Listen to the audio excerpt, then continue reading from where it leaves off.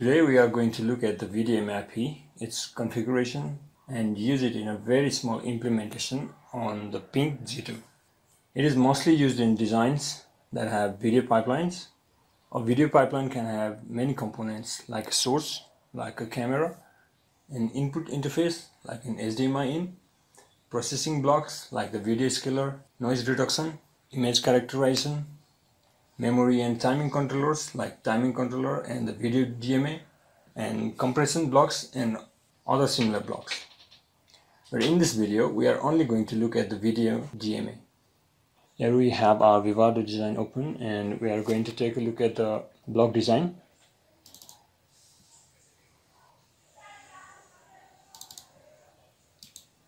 So this is the block design of the video pipeline that we are designing. Basically, this uh, design has only two IP blocks. So this is the VDMA IP that we will be configuring and this is the processing system through which we will configure the VDMA. Now let's take a look at the VDMA configuration page. You can double click the VDMA IP and our configuration page will load. You can specify the address width in this field. By default, the VDMA IP will have three frame buffers. And for our application, we are only going to use one. The VDMA IP has two channels, one read and the write. Both can be configured independently. For our application, we are going to enable both of these channels. You can configure the width of the data bus of the read channel from this drop down. And for our application 64 is totally fine and we can also configure the read bus size you can configure this to the maximum value that is available for the maximum bus utilization. And the stream data width we are going to use 24 because we are transferring 3 bytes of data per clock. You can configure the line buffer depth to these available values but make sure you do not use uh, more than what is needed because this also utilizes the available resources. And we configure the write channel exactly similar to the read channel and under the advanced tab change the fsync options to none for both channels and you can select online transfers and genlock mode to dynamic slave for the rear channel and dynamic master for the write channel and then select ok the VDMA will require access to the DDR to store data that it is transferring or receiving from and the DDR is only accessible through the high performance port. That is why you need to configure the processing system too. So double click the processing system.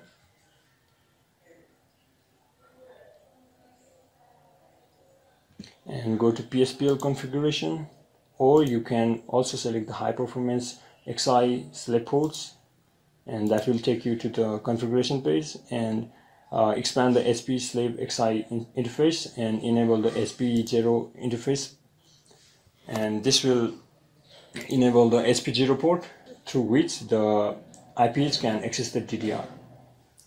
So from this design what we are going to do is store the data into the DDR and and ask the VDMA to read the data through this interface and the VDMA will send those read data through this interface and in this interface we are just having a stream of data and we are just sending this stream of data back to the input of the VDMA so that we can send it back to the DDR.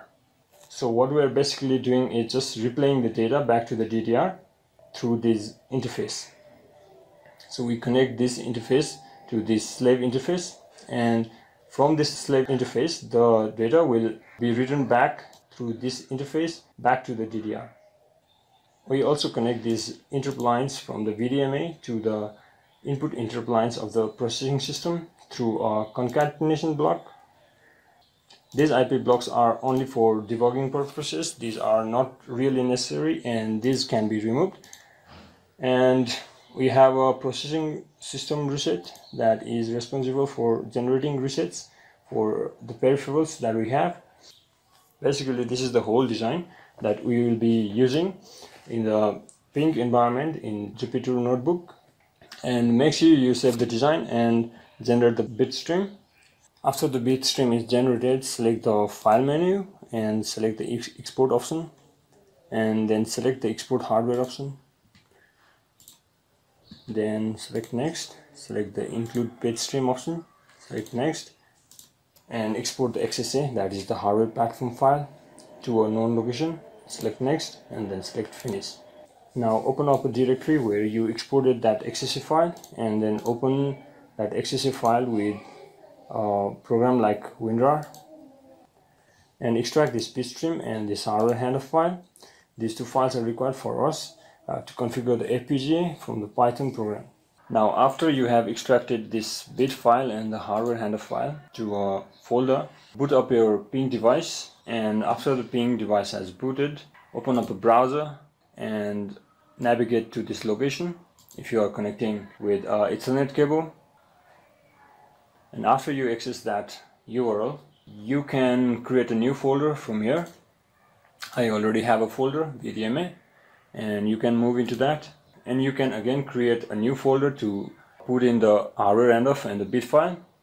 You can upload in this location but I have created a new folder again and select the upload option. And you can upload these two files in this location. So I have already uploaded these two files so I'll move back to the previous location. Now what we have here is a IPYNB file that is the notebook file and I'm going to open this.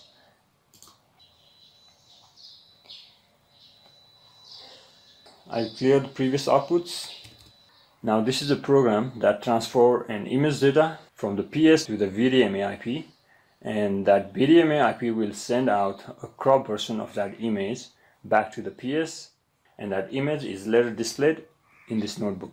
So if the VDMA is an IP that is used for the video applications, why are we transferring an image? That is because the video are made up of frames and images can be thought of a frame of that video. That is why we are transferring an image data because it is easier to understand. So in this first shell, we are just importing some libraries and modules that we can use in this Python program. And we have some variables that has a path to that bitstream and some images and now we are calling an overlay function and passing that bitstream to that overlay function and what that does is give us an object of that Vivado design through which we can access all the elements of that design. Now after we get an object or an overlay of that whole design we get an instance of this VDMA IP through this name. This name is the name of the VDMA IP that we used in the Vivado design. If we now take a look at that Vivado design, we have that VDMA IP here, and the name of the VDMA IP is VDMA. At the beginning, the name of the VDMA IP will not be just the VDMA. You can change the name in this field so that it becomes easier to remember and to use in the Python program. Now let's run the first two cells Now in the third cell, we are opening an image named Sahara and uh, displaying into this interactive notebook environment. So if we run this and wait for a moment and we will have a picture of the Sahara Desert in this place. We have this image. This is the original dimension of this image and what we are trying to do with this uh, demo is try to crop it at this dimension. So that would only be around this section of this image. Now in the fourth cell, we have some allocate functions that allocate some space or memory to store this image. And we also have an output buffer that stores the output sent by the VDMA IP. Now what we are doing in this line is transferring the original data into the input buffer and we are retrieving the address of the input and output buffer. And if we run the cell we get the input and output address of the buffer. These addresses are required by the VDMA IP so we pass these addresses to the VDMA IP in the fifth cell. Now in the fifth cell we are resetting the VDMA with this code. And if we take a look into this documentation that is PG020 that's the documentation for the AXI VDMA IP. And if we take a look into the register space section, we see that 00H is for the control register for the memory map to stream VDMA channel. And similarly, we have the 04 for the memory map to stream VDMA status register and similar other registers are defined in this section. Now if we take a look at the 00H offset, we have reset at bit number 3. So if we take a look at our Python program, we are writing to this register and we are writing a value of 4. 4 in binary is 100 and if we map 100 into this register, we will have 1 at this place and 0 at this place.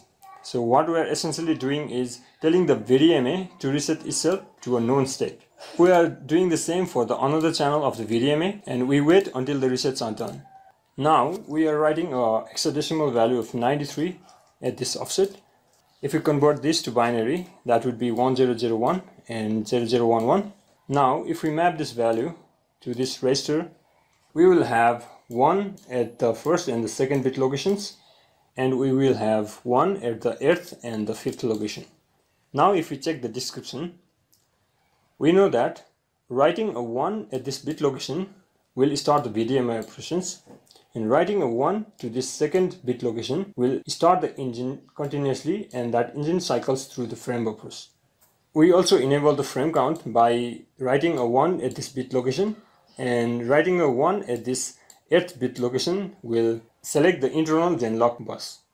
Therefore, writing a value of 93 at this offset we'll start the VDMA operations and then the engine will continuously cycle through the frame buffers. At offset 5C, we just pass the address of the input buffer because we are trying to read from the input buffer. At offset 58, we are writing the width of the input image and multiplying that by 3. We are multiplying by 3 because every pixel of that input image will have 3 bytes to represent a pixel. Let us use this pixel as a reference.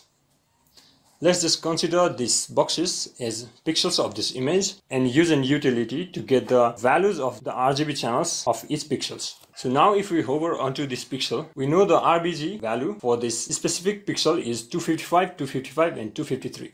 Now if we hover to the pixel below it, we have the red color and the values for the components of this pixel are 253, 2 and 0. So to store the values of these three channels, we will require 3 bytes. And this is the reason why we are multiplying the dimension by 3. And it is also the reason why we used a value of 24 while configuring this stream data width for the VDMA IP. The offset 54 is for the stride size the value of the stride register tells the VDMA to go and start reading from another line if it ever reaches this specified location. So what we are writing in this location is the value of the width new variable and we have 1280 in this variable. So if you take a look into this image again and consider this pixel to be the 1280th pixel, the VDMA will stop reading the next location or the next pixel data and start reading from the first pixel of the next line and that continues until the VDMA reaches the 720th line. In the offset 50, we are writing the new height of that image, that is 720, and we configure the another channel of the VDMA in the same way. We write a value of 93, same as before. We pass the address of this output buffer to which the VDMA IP will write the cropped image data.